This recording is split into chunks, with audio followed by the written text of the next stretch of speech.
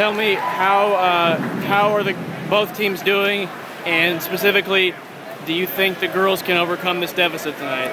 I do. I think we had to have a really, really strong morning, which we did. Everybody came out and they swam their hardest, and we achieved some really, really big things this morning. So hopefully, we'll be able to come back tonight and use everything that we've got. And it's going to be close, but I think that we can do it. What's the mood like right now? Um, I think it's positive. I think girls are really excited because everybody had good races tonight. I mean, this morning. So I think that everybody knows it's going to be close and they know they're going to have to do everything that they can. But I think they're confident that we can. So.